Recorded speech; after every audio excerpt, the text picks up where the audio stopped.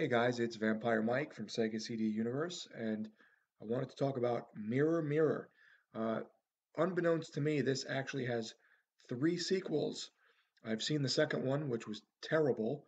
Um, I think the third one I can't really find, but the fourth one is on Amazon Prime, so I'm going to give that a whirl soon. Uh, this was put out by Dark Force Entertainment from darkforcesuperstore.com. Uh, they also did, this is probably one of their best releases along with Freeway 2 and uh, Backlot Murders, I like a lot with Corey Haim. Though I think Freeway 2 and this is probably their best releases. Um, it stars Karen Black and Rainbow Harvest, which is her real name. She sort of looks a little bit like Winona Ryder. So uh, this movie is about these people, Karen Black and Rainbow Harvest, who is her daughter. I want to say it's Megan, and they move into this new house. The mother sort of has some I guess, mental problems, and she's trying to kind of start fresh. And I think the the husband had died recently, so they're out of sorts, and all these strange things start happening in the house. Um, there is this antique mirror that is in Rainbow Harvest's bedroom that was left with the home that they uh, got when they purchased the house, and there's something weird going on with it. Uh, as the film plays out, Rainbow Harvest is having a, or Megan is having a, a hard time making friends.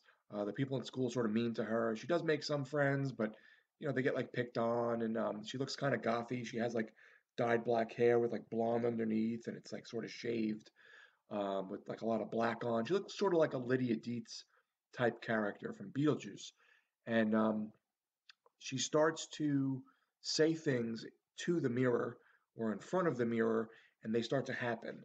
Um, I don't want to say too much and spoil it all, but uh, obviously the mirror has this sort of evil power to it, and what she says starts to come true, and then it starts to kind of, you know, fold in where now there's bad things happening to her or happening to people close to her, and it gets all kinds of, you know, crazy.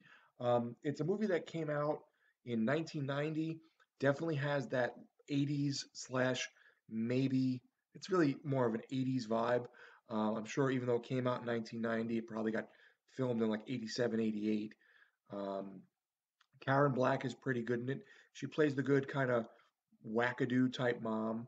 I thought Rainbow Harvest was pretty good.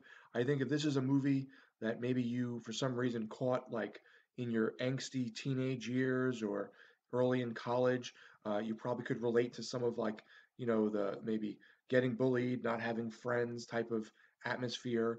Um, you know, she feels a little bit like an outcast in a way, new person to a new state uh, in a new school.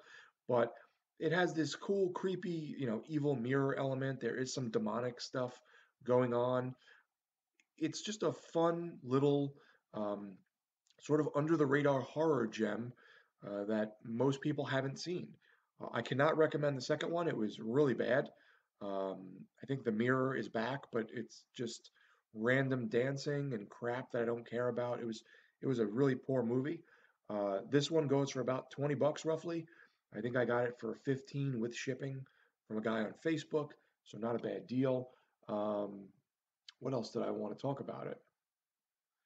Uh, it says there's a stunning new HD transfer, which was created from an original pristine 35 millimeter negative.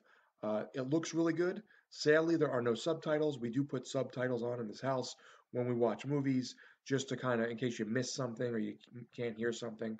Um, I tend to play movies very loud, and my wife plays them a little bit lower.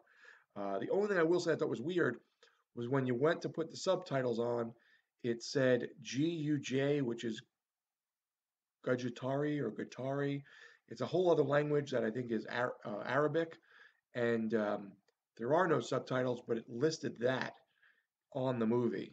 Um, so kind of weird, but there are no subtitles at all. Looked good, sounded good, cool little under the radar horror movie. It's not going to like blow your socks off, but it's definitely like a good, weird horror movie that you probably haven't seen. So I would recommend Mirror Mirror. I enjoyed it. My wife didn't like it. She said the first part of it was good, and then it went downhill for her. Um, but Tell me, guys, if you've seen Mirror Mirror, what you think. I think it's cool. Thanks, guys, for watching. It's Vampire Mike from Sega CD Universe. Be good.